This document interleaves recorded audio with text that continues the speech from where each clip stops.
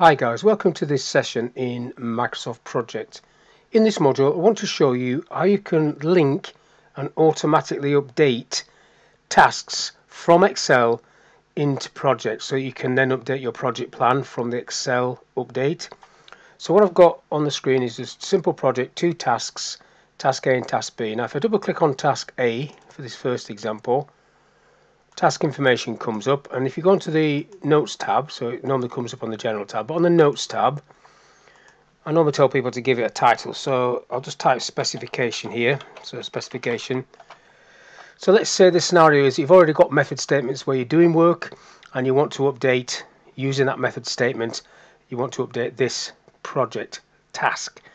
So what I'm going to do is use this little icon here insert object so this will allow me to browse for a file which I've got in documents called project status.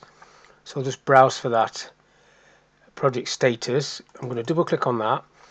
Now the key to this, so it updates, so you see the updates, is if I tick that, that will link it. So this is now a link like a shortcut to it. And then I will display it as an icon like so. So it's going to sit like that in this box. If I click OK, there it is. Now if I open that, if I just double click on that, that opens up the file itself. And then if I come back into um, project just cancel uh, click OK to that. And then you'll see the little icon in the indicator column. If you hover over it the title that you typed specification is there. Otherwise it would just be that apostrophe.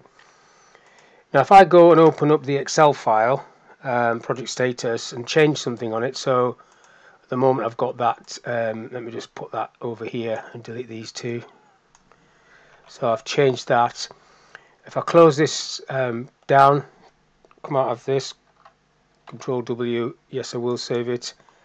Go back into the task A double click and bring task information back into view open it up and then if I bring this into view you can see that that has now picked that up. So these three tasks are at 75% that one is still at 50% so if I close that down for a minute and then click OK to that and what I can do now is I can just go on um, task A say if that task A is 75% I can just click the 75% indicator and I can do that for task B whatever that's meant to be. Um, say 50% from that list.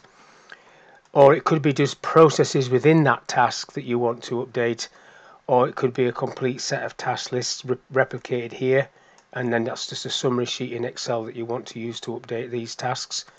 But all you have to do is double click onto the task have a look at the um, task information go into the actual the link just double click on that and then when it opens you'll be able to update and see the information.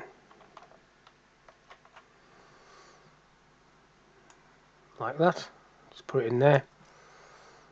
And you can change this like I did before and it will always be a live link. So I've got this as task 1, 2, 3, 4. This might be, there's 10 items to complete in that task A. So I'm just going through it like that.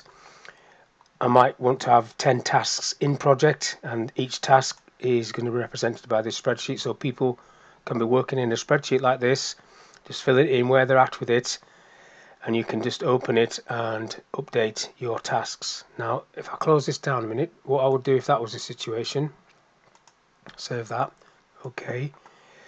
I might embed that on the top task like that so just double click on the title and then bring that in there and do that insert object on the summary title so then you get in that spreadsheet that I saw you saw there on task A coming up on this and then it's just telling you where these tasks are if you had different tasks all the way down. I've got it as one two three but task A B C D same sort of thing would uh, make sense.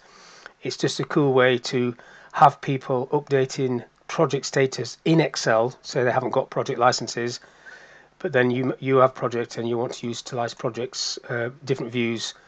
You can get the best of both worlds by doing this. So that's all I want to talk about in this little video. So hopefully it's of use.